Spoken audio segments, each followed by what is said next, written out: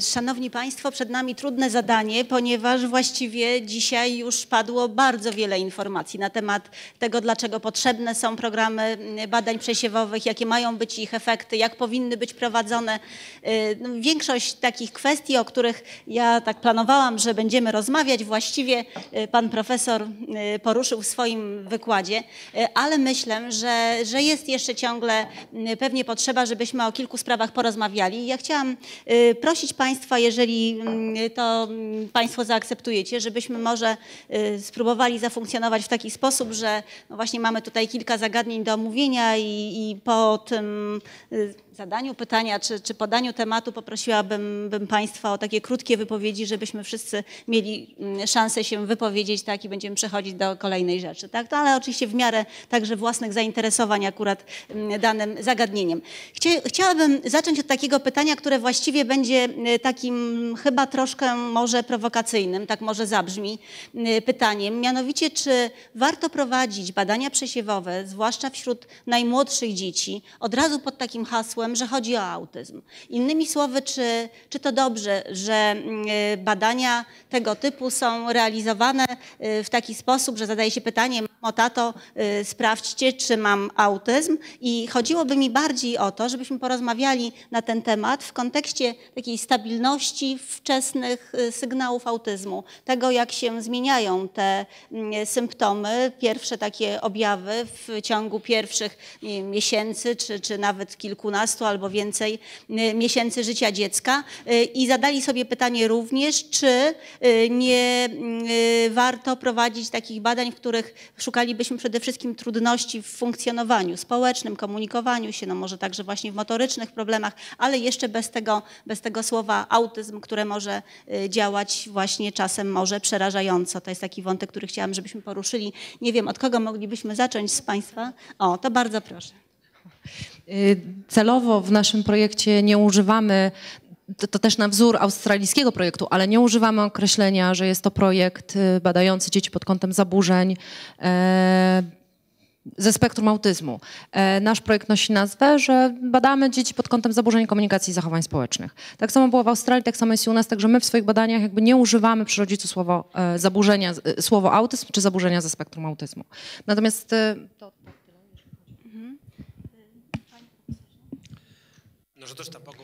My także nie używamy słowa autyzm.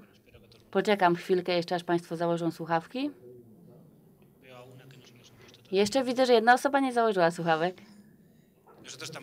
My też nie używamy słucha, y, słowa autyzm, a zaburzenia rozwoju. W naszym kwestionariuszu który dostają rodzice, mamy zapisane, że jest to e, badanie rozwoju e, społecznego i komunikacyjnego. Dlatego rodziny wypełniają kwestionariusz i wiedzą, że skupiamy się na pewnych trudnościach w rozwoju społecznym i komunikacyjnym. Możemy przez to określać zakres różnych trudności, ale nie jest to e, u, zawężone do autyzmu. Oczywiście czasem to jest problem, bo rodziny przychodzą do nas, dochodzi do diagnozy i są y, niezadowolone, są zdziwione. Przecież ich syn czy córka wzięły udział w badaniu i nagle dostają diagnozę, e, że jest to zaburzenie spektrum autyzmu. Są przerażone. Ale często też realizując proces diagnostyczny, przychodzi rodzina, jest jakieś e, zaburzenie, które jest dla nas niebezpieczeństwem, które może zbliżyć nas do diagnozy zaburzenia e, spektrum autyzmu, więc lepiej wiedzieć wcześniej niż później. Jeżeli mamy jakieś e, obawy, że może to być zaburzenie spektrum autyzmu, a jest już miesiąc 19, to e, czasem po prostu nie używamy jeszcze e, określeń autyzm, ale ASD czasem się musi pojawić w pewnym momencie, żeby być szczerym wobec rodziców. Ale w e, tych e, informacjach, które przekazujemy rodzicom, mówimy o zachowaniach dziecku, że zachowania dziecka wskazują na wysokie prawdopodobieństwo e, występowania zaburzeń spektrum autyzmu. Także w tych raportach, które przekazujemy rodzicom, i to jest wynik naszych wieloletnich prac, opisujemy, że dziecko zachowuje się, mówimy w ten sposób o zachowaniu dziecka, nie o dziecku. Mm, nie pamiętam już teraz dokładnie, ale my mamy taki zapis. Zachowanie dziecka jest porównywalne do zachowań osób z zaburzeniem spektrum autyzmu. W danym momencie, w momencie badania, bo często widzimy, że ta diagnoza nie jest stabilna, albo po prostu e, interwencja, którą przeprowadzamy, da też e, odpowiednie rezultaty i nie ma jednak stałego, mm, stałej diagnozy o zaburzeniach spektrum autyzmu. Tak więc nawet jeżeli dochodzi już do diagnozy, bardzo ostrożnie używamy słowa i jeżeli jest to autyzm, to na pewno ostrożnie podchodzimy do takiego sformułowania. Tu mm, też y, y, widzimy problem i y, praktycznie on się, tak jak mówiłem w swoim wystąpieniu, odbija na e, sytuacji relacji z rodzicami.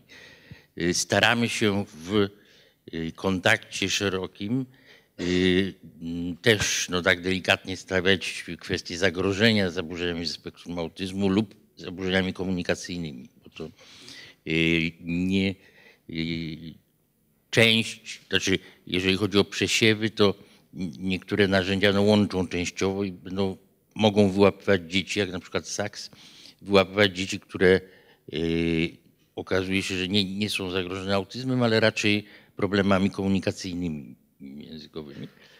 Dlatego tego trzeba uważać, używać dosyć ostrożnie. Natomiast jest też w drugą stronę, mm, jakby kij ma dwa końce, dlatego że jeżeli się tego nie mówi dostatecznie, nie komunikuje dostatecznie jasno, y, to jednak motywacja do poddawania się takim badaniom może przynajmniej u części znacznie spaść.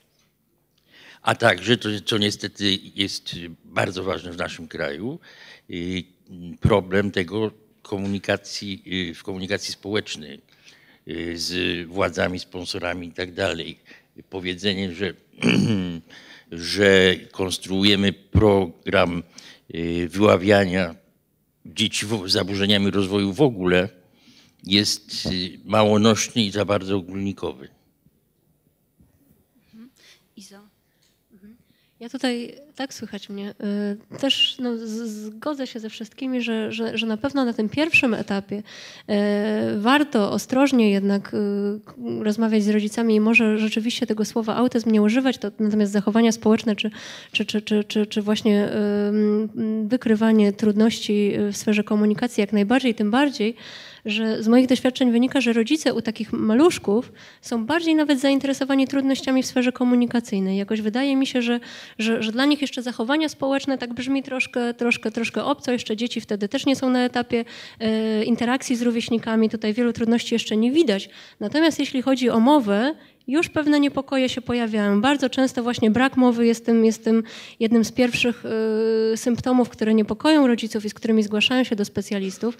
Także wydaje mi się to bardzo wartościowe akurat, żeby podkreślać y, y, ten aspekt. Y, jeszcze tutaj odwołując się do, do, do, do no, przesiewów w kierunku ogólnych zaburzeń rozwojowych, to, to ja może tak przytoczę taką perspektywę, która jest mi bliska, dlatego że teraz sama mam, mam małe dziecko, jeszcze za chwilę drugie małe dziecko i, i, i mam wrażenie, że, że do etapu bilansu dwulatka, kiedy no właśnie dziecko jest, jest, jest badane e, ogólnonarodowo, wszystkie dzieci w służbie zdrowia, to właściwie ta opieka taka państwowa e, no, no, ogranicza się do, do, do kontaktu w trakcie szczepień. E, dziecka i, i, nie ma żadnej kontroli nad tym, jak dziecko się rozwija. No bardzo brakuje według mnie, żeby na wcześniejszych etapach również jakaś ewaluacja tego rozwoju była. I mówię tutaj o ogólnym rozwoju, właśnie nie tylko pod kątem e, tych zaburzeń, które nas najbardziej interesują, ale też również może szerzej, tylko to oczywiście no tutaj do dyskusji, bo to no, organizacyjnie bardzo no, szalenie trudne, żeby to zrobić na poziomie e, no, ogólnokrajowym, systemowym. Ja może tylko dodam, przytoczę opinię Y, neurologów dziecięcych, y, też y, pani doktor Balanaszek, z którą współpracujemy, myślę, że optymalnie byłoby, gdyby badanie rutynowe, przesiewowe, neurologiczne było robione około trzeciego miesiąca, około trzeciego miesiąca życia, kiedy można wyłapać z kolei te różnego typu miękkie i bardziej twarde w postaci zespołów neurologicznych problemy. I to też by na pewno nam pomogło, bo by, bo by yy, też zagęszczało, jak gdyby te, zbierało dzieci z zwiększonego ryzyka. No właśnie, to skoro podjęliśmy już ten temat, to może o tym teraz porozmawiajmy. Kiedy najwcześniej byłoby sensownie przeprowadzić takie badania y, przesiewowe? Y, Tutaj mamy MCHAT od 16 miesiąca życia, SAKS od 8, y, ale mówimy też często o tym, że wcześniejsze objawy autyzmu no, są gdzieś już opisywane i wyodrębniane. Wyodrębniane oczywiście zawsze jest dylemat, czy to są trafne, na ile one zostaną utrzymane w przyszłości, a na ile nastąpią zmiany w toku rozwoju dziecka. Y, Ale jak to jest z Państwa perspektywy, z perspektywy Państwa wiedzy? Kiedy najwcześniej te przesiewy dzisiaj mają sens? Kto z Państwa zechciałby może? Chociażby tutaj odnosząc się do saksów, rzeczywiście my badamy dzieci już w ósmym miesiącu życia, natomiast tak naprawdę do dalszych analiz brane są pod uwagę dzieci od 12 miesiąca życia.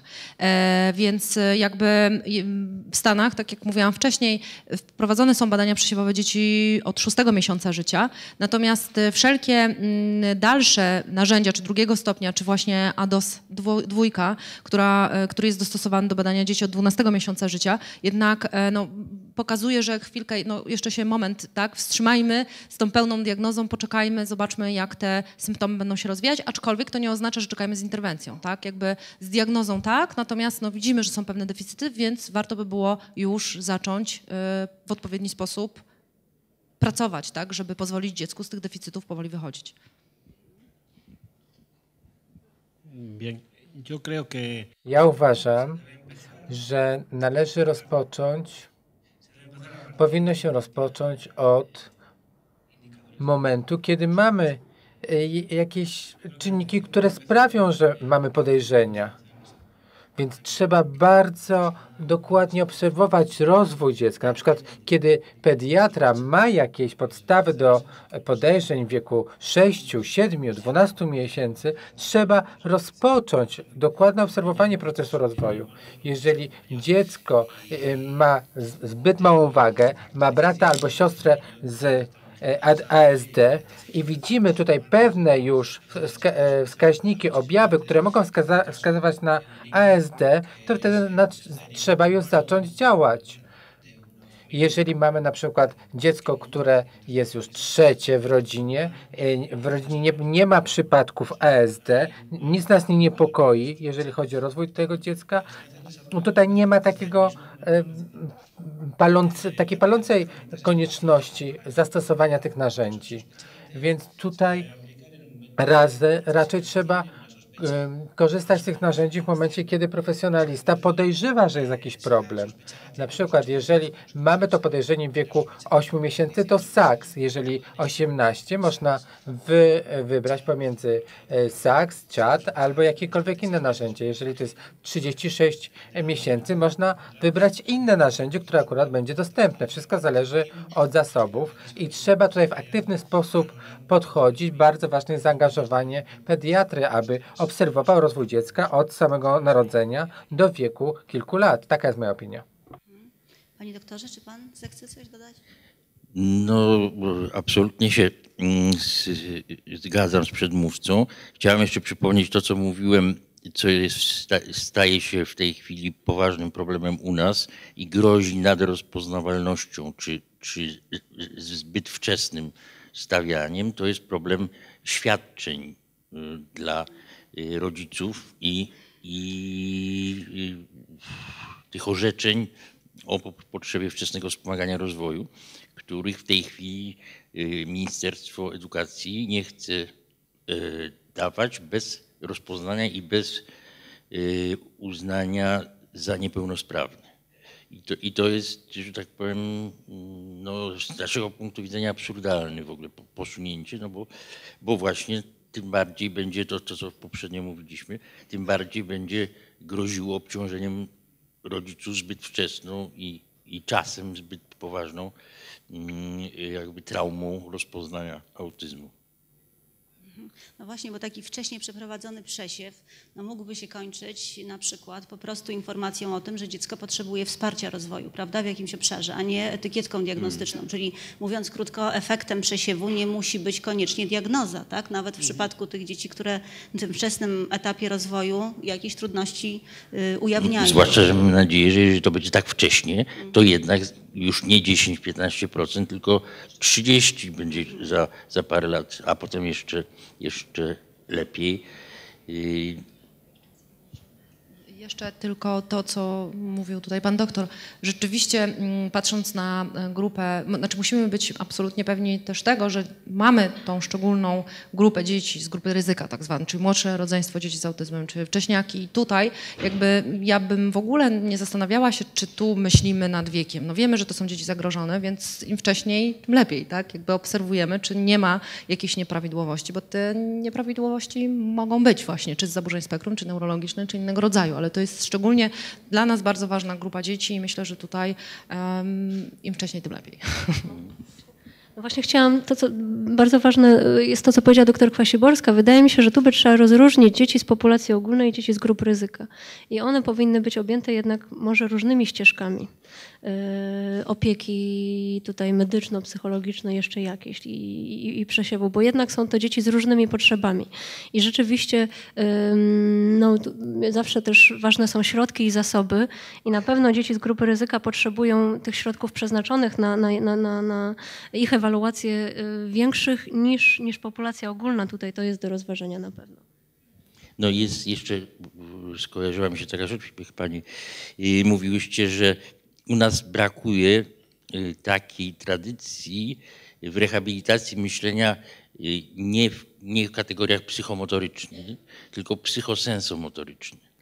Dlatego, że dużo nieprawidłowości tego pierwszego półrocza na przykład objawia się również w formie zaburzeń y, odbioru i przetwarzania bodźców, co bardzo zresztą te dzieci stresuje i, i bardzo przyczynia się tak, może, może tworzyć początek tej kuli śniegowej, y, która mm, zagraża, ale wtedy w ogóle nie można mówić o tym, że my monitorujemy pod kątem y, zaburzeń społecznych nawet czy tak dalej, tylko w tym okresie monitorujemy te dzieci ryzyka pod kątem właśnie A neurologicznych, B sensomotorycznego funkcjonowania.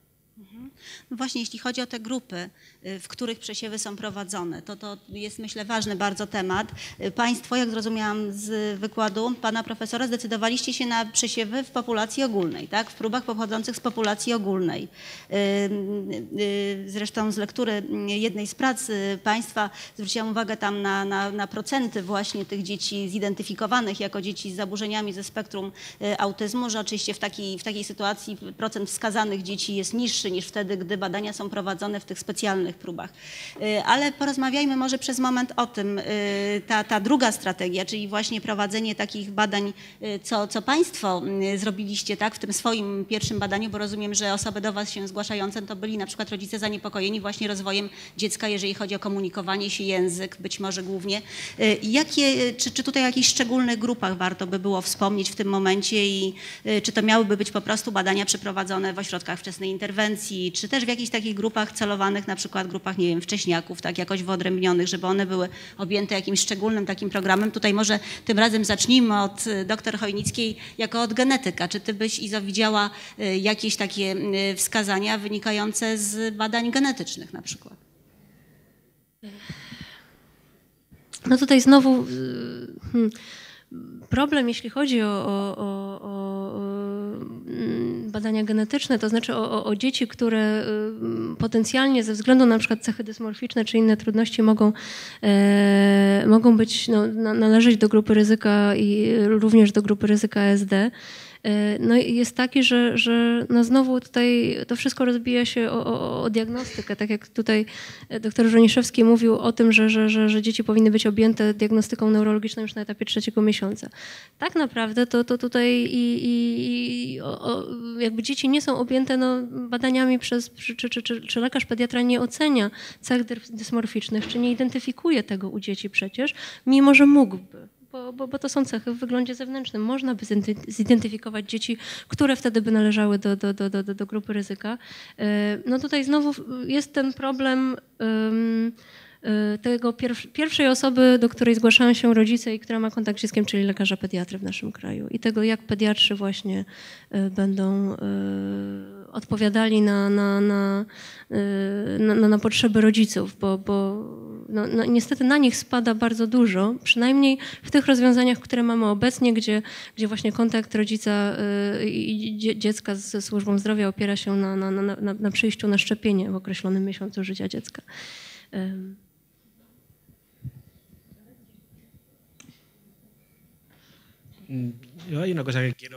Jedna rzecz jeszcze, którą chciałbym. Poczekam. Chciałbym jeszcze skomentować jedną rzecz w związku z pediatrami i ten komentarz, który właśnie mogliśmy usłyszeć przed chwilą. Ja mam wielu współpracowników, którzy pracują jako pediatrzy i zauważyłem, że większość z pediatrów, kiedy y, przychodzi jakieś dziecko na konsultację, najpierw patrzą, jak oddycha, czy ma jakieś problemy. To jest z automatu po prostu.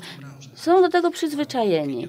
Ja tak samo, jak widzę jakieś małe dziecko, skupiam się na tym, czy na mnie patrzy, czy wskazuje. To jest dla mnie też automatyczna reakcja. Dla pediatrów z kolei skupiają się na innych aspektach związanych z właśnie fizycznymi oznakami rozwoju. Problemy z astmą, problemy z oddychaniem. To jest łatwe dla nich i typowe. I jedna rzecz, którą też e, udało się potwierdzić przez grupę z Australii, jest to, że właśnie w tym obszarze najważniejsze jest, żeby wykształcić e, pediatrów, dać im odpowiednie umiejętności, żeby wiedzieli, na czym się skupić. Czy właśnie dziecko coś wskazuje, czy na przykład nie tylko skupić się, czy ma jakieś problemy ze złapaniem oddechu, tylko czy śledzi nasze wskazówki. Więc trzeba dużo uwagi mm, Y, skupić na tym, żeby odpowiednie szkolenia zapewnić zarówno pediatrom, jak i pielęgniarkom, bo w Australii jest to możliwe.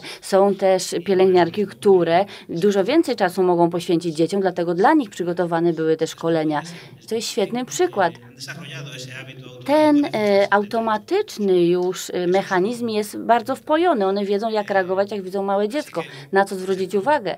Wyobraźmy sobie sytuację, że jakiś pediatra, kiedy pyta, y, kiedy rodzina przychodzi i mówi, no tak, przecież muszę się skupić na tym, bo to jest brat tego, który ma, cier, cierpi na zaburzenia spektrum autyzmu, więc naturalnie już będzie pojawiała się ta myśl, aha, muszę skupić się na tych objawach, na tych aspektach. Ale co to znaczy? To znaczy, że musimy uwrażliwić całe środowisko. Aby uwrażliwić środowisko, musimy przejść przez kolejną ścieżkę, ale zaczyna się to wszystko od kształcenia, od szkoleń.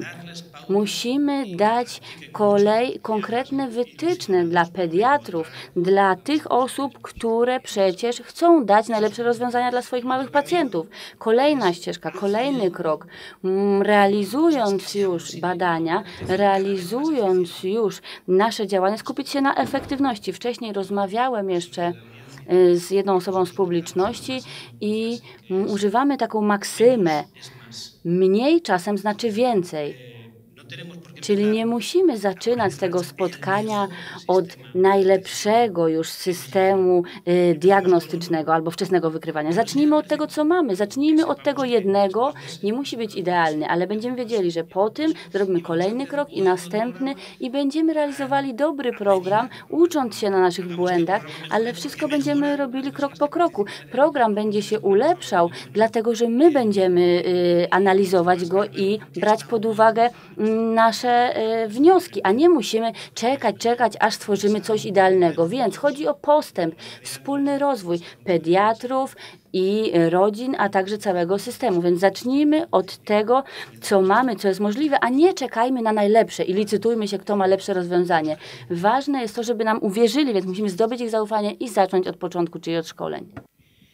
No właśnie, przeszliśmy do profesjonalistów, tak pojawili się ci lekarze y, i pielęgniarki również. Państwo korzystaliście mm, w swoich badaniach właśnie z działań lekarzy pediatrów. Pani, pani mówiła o tych australijskich narzędziach w kontekście pielęgniarek. Tutaj także w tym polskim badaniu pielęgniarki są takimi ważnymi osobami. Tak rozmawiałyśmy z doktor Chojnicką przez moment, że czy my tutaj nie mamy do czynienia z jednak pewnymi różnicami w przygotowaniu zawodowym tych grup, które może się y, y, Pan profesor tutaj dotknął tego mm, y, ważnego mm, elementu, że tu właśnie te szkolenia tak, są takie bardzo potrzebne. Y, Ale czy to, czy to nie jest tak, że jakby tutaj a priori przed tym zaangażowaniem warto bardzo dużo uwagi poświęcić w no, jakieś mm, przygotowanie, uwrażliwienie, właśnie dostarczenie jakichś informacji te, tym grupom, które mają w tym uczestniczyć u nas? W naszym przedsięwzięciu planujemy w, w, tym rozwijaniu, zwiększaniu potencjału w Polsce, planujemy również ewaluować tak naprawdę mm, oceniać te grupy, te miejsca. Dla jednych dzieci są to też żłobki, dla innych POZ-y, dla innych mogą to być y, właśnie zespoły realizujące wczesne wspomaganie rozwoju, bo tam, tam jest bardzo wysokie ryzyko też wystąpienia, więc, więc tutaj trzeba to obserwować. My na razie patrzymy tak i to, i to oceniamy. I to jak i co zrobić, to y, i w jakiej kolejności, no to będziemy, będziemy oceniać, bo pewnie do wszystkich naraz się nie dotrze, ale, ale tak naprawdę bardzo wiele jest tych punktów. Natomiast na razie my przewidujemy mm, jakby promowanie dwóch ścieżek, to znaczy jednej dla całej populacji, badań takich, no powiedzmy sobie, yy, możliwie jak najbardziej powszechnych, w każdym razie ich dostępności, ale takich no typowo przesiewowych i drugą ścieżkę dla tych właśnie grup ryzyka, która byłaby jednak skierowana na mm, czasem wielospecjalistyczny, ale monitoring, tak? czyli to nie, nie, nie typowe przesiewanie, tylko dokładne ocenianie pod wieloma parametrami. Nie tylko tymi ze spektrum autyzmu, ale również, tak jak mówiłem, neurologicznymi i tak dalej. To też jest bardzo ważne, bo trzeba brać pod uwagę mm, fakt, że być może to, co się dzieje, jeżeli chodzi o rozwój ilościowy zapadalności na autyzm, to jest y, nie tylko sprawa y, braku, mm, znaczy wystąpienia nasilenia się czynników szkodliwych, środowiskowych itd., ale również części może to być osłabienie czynników protektywnych. My rzad, rzadko myślimy w ten sposób, ale jednak bardzo wiele elementów kultury y, dawniejszej miało charakter jakby protektywny i bardziej dostosowany do potrzeb rozwojowych człowieka. Większe rodziny, większa ilość stymulacji, y, no, twardsza podłoga y, i dużo różnych rzeczy, które z jednej strony na przykład mogły zwi- zwiększyć ryzyko zachorowania dziecka, czy nawet jego jakichś mm, urazów i, i, i- problemów, albo chorób, ale z drugiej strony, od strony y, rozwoju y, właśnie tego psychosensomotorycznego, mogły one mieć dobre znaczenie, wzmacniające. Więc y, w tej chwili jak gdyby tę naturę mus, musi zastąpić kultura wielu, y, jakby wielospecjalistyczna. Natomiast my jak najbardziej mamy to na uwadze, to o czym mówiła pani mm, profesor, czyli e, jakby rzeczywiście analizujemy sobie e, te wszystkie, no, wszystkie kwestie związane z wykształceniem odpowiednich grup, które zostały teraz przeszkolone i mamy całe mnóstwo pytań od odpowiednich, zarówno od pielęgniarek, zarówno od psychologów, jak i od logopedów. To też da, jakby mm, widać już mm, pewien em, jakiś algorytm powtarzających się pytań y, z danych grup tych właśnie przeszkolonych. No i też przewidujemy analizę dokładne tych wszystkich procesów, które mają teraz miejsce, ale też e, ankiety, tak, y, na które oczekujemy odpowiedzi od o przeszkolonych grup, e, ale też kolejne spotkania. Tak. E, Ja też chciałabym dodać, że e, szkolenie, które zostało przeprowadzone, jest e, szkoleniem bardzo, bardzo praktycznym. E, I tak naprawdę próba po próbie zachowanie, mm, za zachowaniem jest dokładnie pokazywane na nagraniach, także my też wiedzieliśmy, jak będzie ten proces szkoleniowy wyglądał i, i nawet w ten sposób jakby wyszli, wyszliśmy naprzeciwko tym różnicom, nawet w kwestiach wykształcenia pomiędzy chociażby prawda, danymi grupami, które były przeszkolone w Australii, które zostały przeszkolone tutaj. Aczkolwiek, tak jak mówię, mamy cały czas to na uwadze i też szalenie nas interesują informacje zwrotne, które teraz zbieramy i które będziemy analizować. A co z rodzicami w tym kontekście? Bo od rodziców tu zależy bardzo dużo, w tym pierwszym etapie przesiewu zwłaszcza. Tak, to oni odpowiadają na te wszystkie pytania i w kwestionariuszu. Y, No i jak wiemy z różnych sytuacji związanych z rodzicami, rodzice często mają wątpliwości, kiedy mają na przykład porównać swoje dziecko z typowo rozwijającym się dzieckiem w tym wieku, a, a na przykład jest to ich pierwsze dziecko i nie mają takich doświadczeń. Więc mówiąc krótko, czy y, widzielibyście Państwo jakąś potrzebę hmm, przygotowywania rodziców do udziału w przesiewie w takim bardzo mm, jakby mm, prostym znaczeniu y, dostarczenia na przykład jakichś informacji. Ja widziałam na stronie fundacji, że pewne informacje się pojawiły. Może gdyby pan doktor zechciał o tym powiedzieć.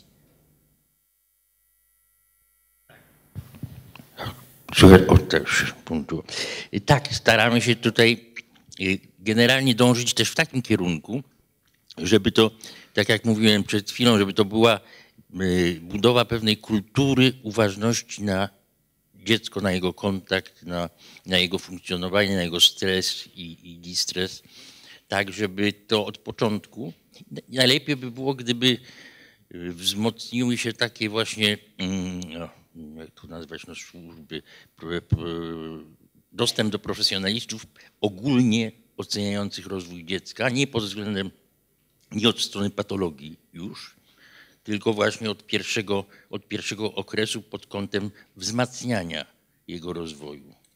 I, i to, co, to, co staramy się też taką jakby oświatą przekazywać, z tym, że to znowu ma też swoje niebezpieczeństwa, bo rodzice, którzy za zbyt y, mm, tak kompulsywnie, że tak powiem, badają i oceniają rozwój dziecka, mogą no jakby y, tutaj niepokój, wnosić niepokój i sami przeżywać i wnosić w kontakt z dzieckiem, więc, więc raczej lepsze jest, y, jak można iść do, nawet sam jako psychiatra to wiem, że lepiej iść do mądrego mm, kolegi niż samemu próbować coś oceniać. Sí.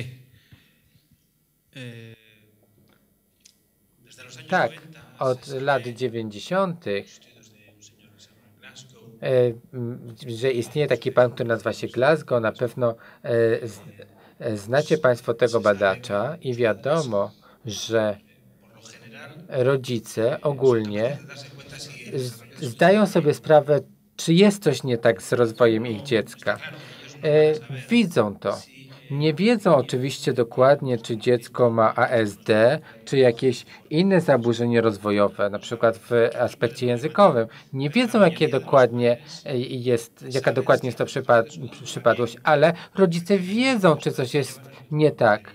W- Szczególnie jeżeli dziecko chodzi do żłobka albo przedszkola i widzą inne dzieci. I to jest bardzo ważna informacja, ponieważ rodzice to pierwsze osoby, które zdają sobie sprawę z tego, że coś jest nie tak. I, i, i, oni mogą stwierdzić, czy dziecko reaguje również na ich oczekiwania. Oczywiście są grupy rodziców, którzy są bardziej wymagający, bardziej się przejmują dziećmi i jest też grup, grupa e, rodziców, którzy mniej się z tym, na tym koncentrują, mniej się tym przejmują. To jest bardzo ważny aspekt. W związku z tym, po drugie, rodzice dzieci, które mają jakieś problemy rozwojowe, niekoniecznie musi być to wiązane z rozwojem społecznym albo komunikacyjnym. Mogą to być dzieci, które mają na przykład problemy z trawieniem albo oddychaniem. Rodzice takich dzieci to osoby e, chętniej będą brały udział w takich programach, bardziej interesować się tym, jakie są grupy ryzyka i uczestniczyć w tego rodzaju badaniach, ponieważ są to ludzie bardziej otwarci na tego rodzaju działania. A drugi aspekt polega na tym, im mniejsze jest dziecko, tym większa jest tendencja rodziców do tego, że nie chcą nic słyszeć o żadnych problemach, żadnych chorobach. Oni mówią, nie, nie, moje dziecko jest zdrowe, jest za małe, żeby w ogóle miało jakiekolwiek problem ze zdrowiem. To jest dopiero noworodek. Chociaż widzieliśmy, że na przykład dziecko nie, nie jest w stanie utrzymać uwagi, kręci głową, nie może się skoncentrować. Rodzice po prostu się boją i wypierają to, że dziecko ma jakikolwiek problem, w szczególności jeżeli jest to dziecko bardzo małe. Więc trzeba znaleźć tutaj równowagę pomiędzy po, e, przejmowaniem się, podejrzewaniem, tak aby e, znaleźć taki złoty środek i aby przyczyniało się to rzeczywiście dla zdrowia dziecka. E, Możemy mieć dziecko, które ma 18-19 e, miesięcy, które brało udział w programie wczesnego wykrywania i rodzice całkowicie ignorują jakiekolwiek problemy e, i, i zaprzeczają temu, że dziecko ma jakikolwiek problem e, rozwojowy, w szczególności jeżeli to jest coś związane z ASD. I tacy rodzice e, muszą otrzymać odpowiedzi, ponieważ w momencie, kiedy otrzymają taką wiadomość, taką informację, kiedy dowiedzą się, że ich dziecko ma problemy rozwojowe, zaburzenia spektrum autyzmu, to jest moment ogromnego kryzysu. Ci ludzie przeżywają ogromny stres. E, muszą dostosować się do nowej sytuacji. To wpływa również na ich zdolność e, poznawczą, ponieważ oni e, zaczynają wątpić, czy sami się nadają do tego, aby wy- wychować dziecko, komunik- komunikować się z tym dzieckiem i tak dalej, więc to ma ogromny wpływ nawet na, na rodziców. To jest ogromne dla nich uderzenie, więc trzeba to robić w sposób e, bardzo delikatny. Musimy brać to pod uwagę i pamiętać o tym aspekcie. Przewidujemy. To jeśli Państwo pozwolicie, to jeszcze jedno pytanie, dobrze? I, i, i, zaproponujemy Państwu zadanie pytań, y, bo jest tam taki wątek, który poruszył Pan Profesor i myślę, że dla nas także bardzo ważny, y, adaptacji kulturowej narzędzi. Y, Może gdybyście Państwo zechcieli powiedzieć coś na ten temat, czy w odniesieniu do MCHR i w odniesieniu do SAKS, tych narzędzi, które są wprowadzane jako narzędzia przesiewowe, rozważaliście to Państwo i czy taka potrzeba w ogóle istniała? No, ten przykład z flamenko bardzo nam przemówił wszystkim do wyobraźni. Nie wiem, czy, czy tego rodzaju mm, mm, pozycje mm, takie właśnie kulturowo nieadekwatne, jeżeli chodzi o polskie warunki, także Państwo znaleźliście. Nie, jeżeli chodzi o saksy, to rzeczywiście e, jakby tak są podobierane próby, że powstało kilka wersji saksów w tym momencie i jest ogromny projekt prowadzony w Chinach, e, więc tam mm, duże są różnice kulturowe, a saksy rzeczywiście ładnie się zaadoptowały. Także e, to jest tak wdzięczne narzędzie i tak, tak e, myślę przyszłościowe, jeżeli chodzi o świat, że w Polsce również nie mieliśmy problemów z dostosowaniem tutaj konkretnych prób. Ja mogę tutaj e, dodać, jeśli chodzi o ADOS 2 i ADR, bo tutaj zresztą wspólnie z profesor Pisulą się zastanawiamy, jak już będziemy mieć wyniki, to, to, to, to będziemy mogły powiedzieć bardziej konkretnie, ale zastanawiamy się, jak w naszej kulturze, w, po, w populacji polskiej będziemy oceniać na przykład używanie gestów i, i jak będzie się manifestować używanie gestykulacji u osób badanych w porównaniu z tymi wersjami oryginalnymi, bo, bo y, istnieje y, jakieś, jakieś, jakieś ryzyko, że y, no, u nas jednak ta, ta gestykulacja jest bardziej stonowana. No i teraz pytanie, czy to się rzeczywiście przełoży na wyniki i na ocenę kliniczną, czy nie? No to będziemy dopiero weryfikować. Ale a propos tutaj właśnie adaptacji, jest to, jest to jakieś zagadnienie problematyczne do, do, do, do na pewno do zweryfikowania.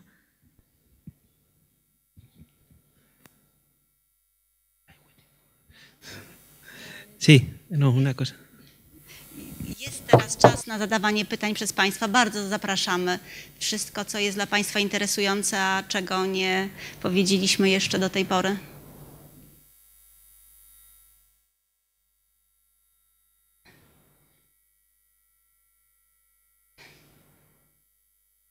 Jest pytanie. Dobrze, tak. Już idę. Oj. Nie, nie. tak?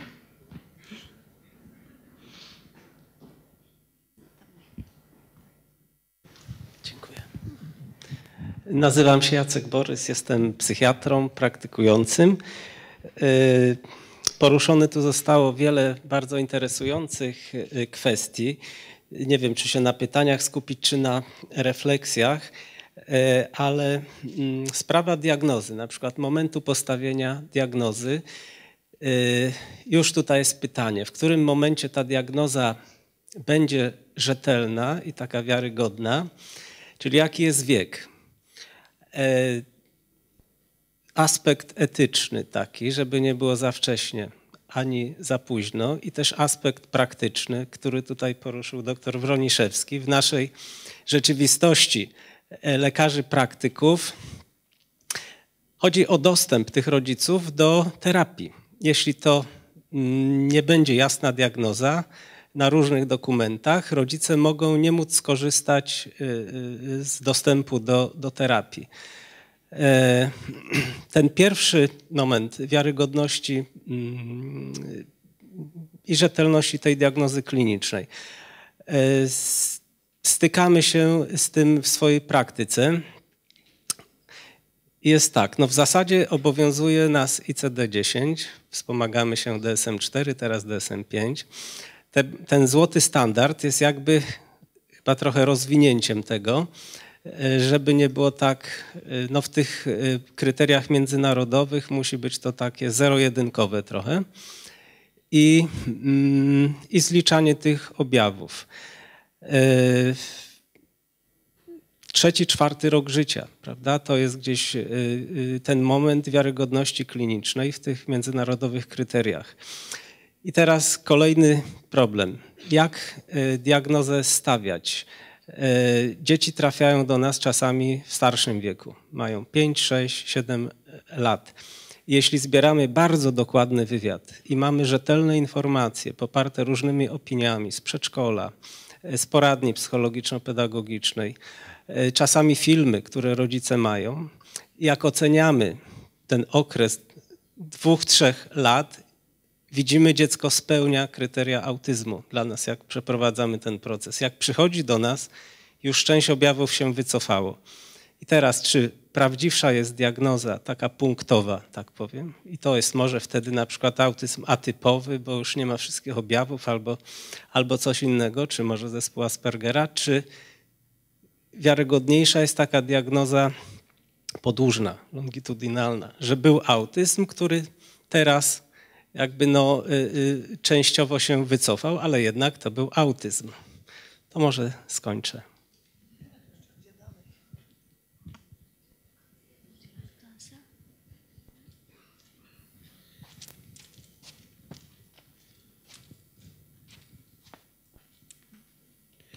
Eh, voy a intentar responder a, un, Postaram się odpowiedzieć na te pytania, na wszystkie te komentarze, które Pan mm, zadał, ale są to bardzo złożone tematy.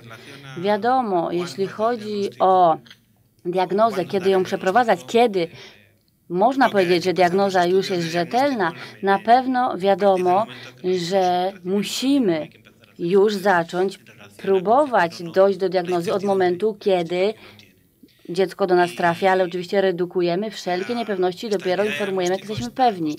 Jeżeli chodzi o y, stabilne wyniki, już w wieku dwóch lat można powiedzieć, że mamy tą stabilność diagnozy i w wieku dwóch lat już można powiedzieć o rzetelnej diagnozie, oczywiście przy wykorzystaniu narzędzi takich jak ADOS y, czy ADR.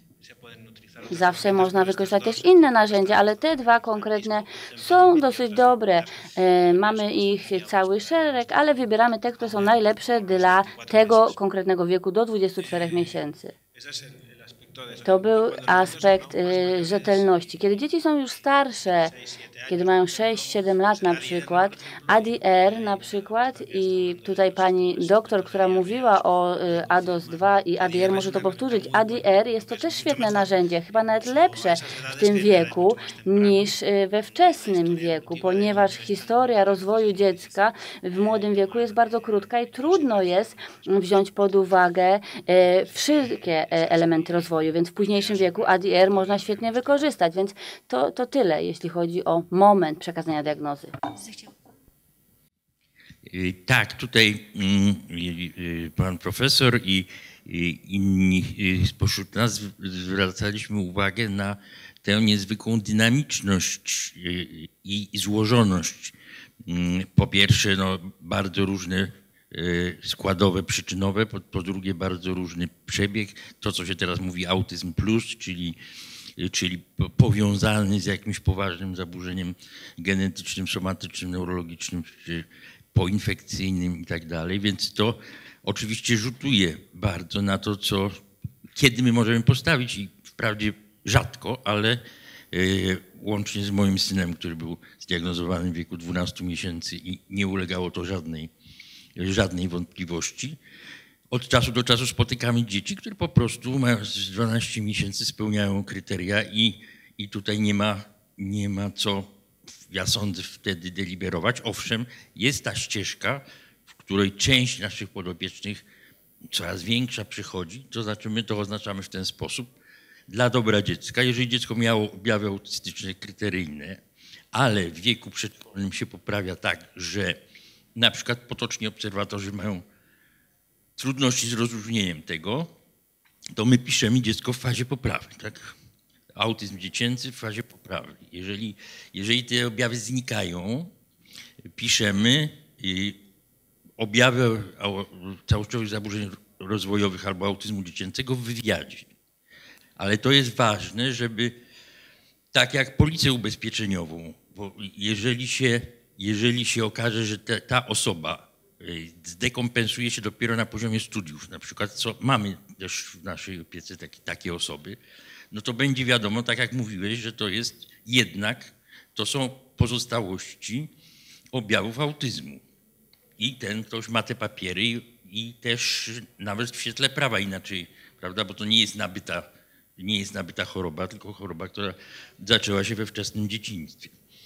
Ale bywa tak, że właśnie, że mamy rocznego, jesteśmy e, pewni tej diagnozy w dostatecznym stopniu i uznajemy ją za usprawiedliwioną, ale możemy mieć trzylatka, nawet czterolatka i nie mieć tej pewności. Dlatego, że jeżeli objawy są zwiewne, zmienne, mm, dziecko robi pewne postępy, to my w tym czasie nie wiemy, czy ono, e, to co, co mu grozi. Grozi mu na przykład zaburzenie na poziomie zespołu Aspergera. Jeżeli rozwijał się językowo nieźle i poznawczo, no to, to on w wieku właśnie tych od pięciu lat wzwyż może zacząć mieć objawy, które są typu Aspergera, ale jak ma trzy lata, to my tego nie wiemy.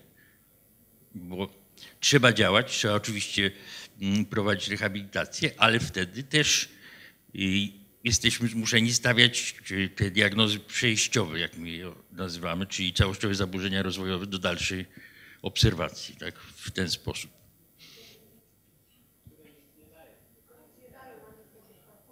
No, to jest nowa sprawa. Do, do pół roku wstecz zabały, więc to...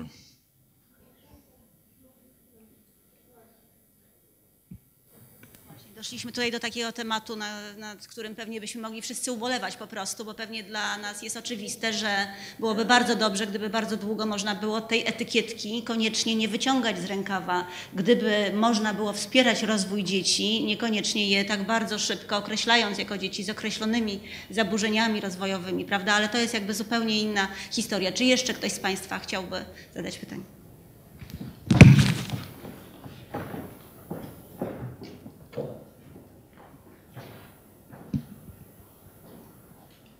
Dziękuję bardzo. Jolanta Waślewska, Uniwersytet Medyczny Białystok. Ja jestem lekarzem.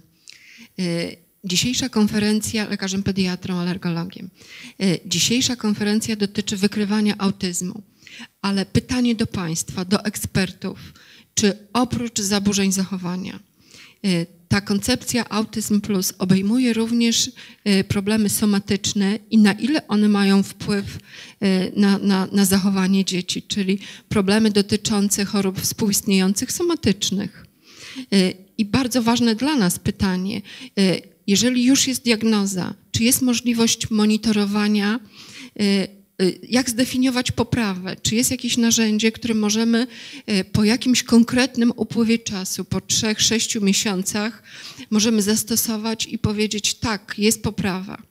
Y, jako lekarz bardzo często spotykam się z problemami dotyczącymi przewodu pokarmowego, czy infekcji, czy zaburzeń odporności. I o objawach dotyczących zaparć, bólów brzucha, wzdęć, rodzice dzieci z autyzmem mówiąc głośno, mówią głośno. Natomiast y, na samym końcu pada informacja, moje dziecko ma zaparcie, oddaje stolec raz na dwa tygodnie, moje dziecko ma autyzm. I tego ostatniego słowa autyzm nie słychać. Y, dla rodziców to jest rzeczywiście wielki problem. Y, I, i, trudno się im z tym rozpoznaniem zmierzyć ale my byśmy chcieli wiedzieć, jak możemy ocenić, czy jakieś nasze leczenie zaburzeń, no pediatryczne postępowanie, jest w jakiś sposób pomocne, bo jest kwestionowana e, rola diety, czy rola jakichś substancji, czy rola leczenia zaparć, czy tej postaci biegunkowej. Czasami e, objawy biegunkowe poprzedzają ten zespół. Czyli pytanie krótkie, e, jak zdefiniować poprawę i jak Państwo uważacie? Czy komponenta somatyczna ma jakieś tutaj znaczenie? My wiemy, że to jest choroba mózgu, więc absolutnie nie, nie, nie chcemy sobie uzurpować jakichś większych praw. Dziękuję. Bardzo dziękujemy za pytanie. Ja myślę, że ono jest tak medyczne w swej treści, że e, poprosimy o odpowiedź pana e, doktora, chociaż pan profesor zdaje się, tak? Chciałby.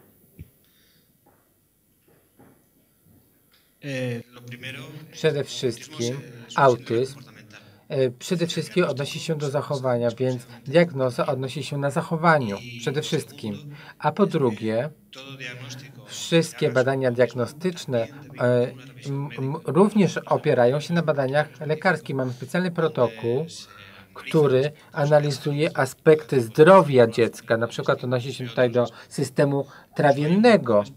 Na przykład w Hiszpanii mamy szpital, który ma specjalny program, który bada powiązanie tych problemów. Aby analizować te powiązania, na przykład e, e, odżywianiem, tolerowaniem e, pewnych e, pokarmów e, i powiązanie tego z ASD. Tak więc te tematy istnieją. Możemy przedstawić diagnozę e, autyzmu, ale oczywiście jest to zawsze powiązane ze zdrowiem danego dziecka. Trzeba tutaj e, również pamiętać o różnego rodzaju problemach fizycznych, fizjologicznych dziecka, o patologiach, które mogą również wpływać na stan psychiczny i mogą być powiązane z zaburzeniami spektrum autyzmu. I to przekłada się z kolei na zachowanie, więc oczywiście są to elementy wiążące się ze sobą, więc jeżeli chodzi o plan opieki dla dzieci, dla osób z autyzmem, odnosi się również e, do opieki zdrowotnej. Jeżeli mówimy tutaj o zmianach, o poprawie, Ostatnio wydaje mi się, że tu na pewno są osoby, które znają ten instrument. Mamy now- nowy ADOS, który jest używany do e, analizy poprawy ADOS-C. Został opublikowany w 2014 i na pewno osoby tutaj znają ten, to nowe narzędzie. Jest to narzędzie diagnostyczne, które pozwoli ocenić rozwój symptomów. Ta, to narzędzie zostało stworzone w oparciu e, na e, badaniach i wydaje mi się, że świetnie to działa. Ostatnio pokazał się artykuł e, opublikowany przez e, Casilori i współpracowników i wydaje mi się, że to jest świetne narzędzie, aby analizować poprawę i także monitorowanie diagnozy. Oczywiście mamy również inne narzędzia odnoszące się do zachowań i do zdolności kognitywnych, językowych i tak dalej. I zdolności poznawczych. Na przykład skala Munich może być używana e, e, w czasie i możemy dzięki temu zobaczyć, w jaki sposób dziecko zmienia swoje zdolności poznawcze, adaptacyjne. I oczywiście tutaj są też inne wskaźniki, które odnoszą się do wskaźników e, fizycznych. Dziękuję.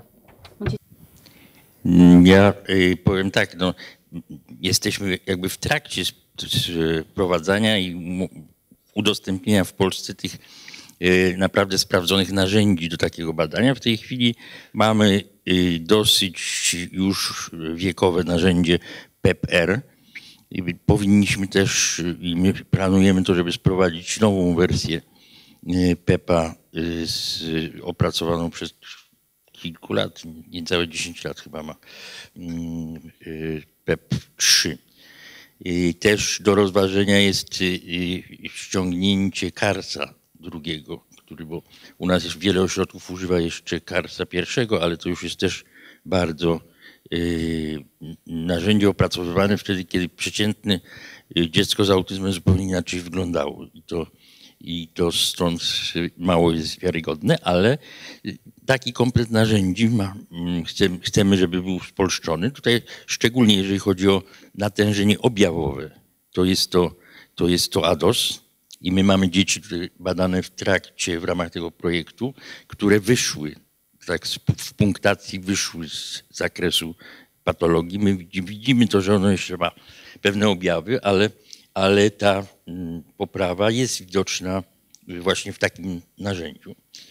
No i, i funkcjonalne, czyli ten y, PEP. Także to jest, jest badalne. A jeżeli chodzi o sprawy y, somatyczne, to absolutnie tutaj się zgadzam z panem profesorem. To jest tak, że w tej chwili nie ma żadnych dowodów na to, żeby ściśle przyczynowe były y, mm, zaburzenia w stanie ogólnym, były jakby przyczyną wyłączną czy główną autyzmu.